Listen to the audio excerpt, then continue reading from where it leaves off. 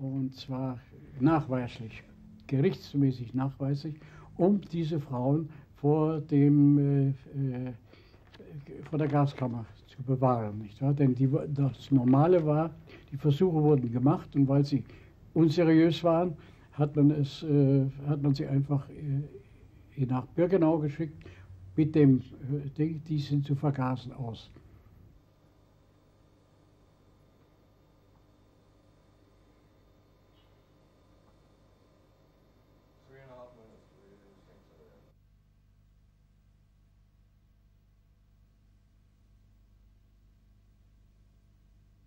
Aber ich habe nichts gegen den Mengele äh, als in Auschwitz selber gesagt. Ich habe auch kein, keine, ich habe viele persönliche Kontroversen mit ihm gehabt, aber nicht in dieser Sache.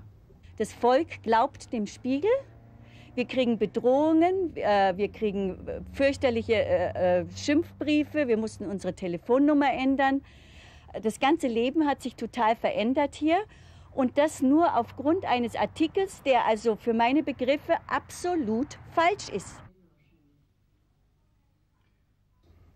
Man möchte natürlich, die, die Wahrheit ist so klar über, äh, über, über Auschwitz und über alles, was gemacht wird, dass man sich also nur wundern muss, warum noch darüber gesprochen wird, wo doch die Fakten wirklich alle da sind, zahlenmäßig bestimmbar, wo, wo was sonst eigentlich niemals der Fall ist. Nicht wahr? Gut, mhm. das ist meine Situation.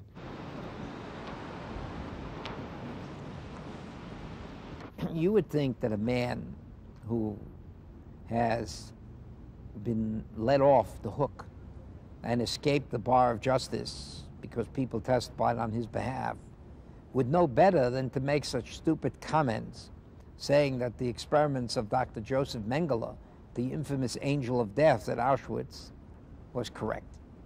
That, it show, that itself shows me that either the man uh, has lost in touch of all reality or that he was part of that same team. Ja, nun, äh, sofern äh, hier neue Tatsachen vorliegen und man wird diese Aussage wohl als solche werten müssen, ist die Staatsanwaltschaft verpflichtet, hier eine Untersuchung einzuleiten. Das hat sie getan und äh, man kann natürlich dieser äh, weiteren Untersuchung nicht vorgreifen. Aber die Staatsanwaltschaft musste hier tätig werden und dieses Tätigwerden ist auch passiert.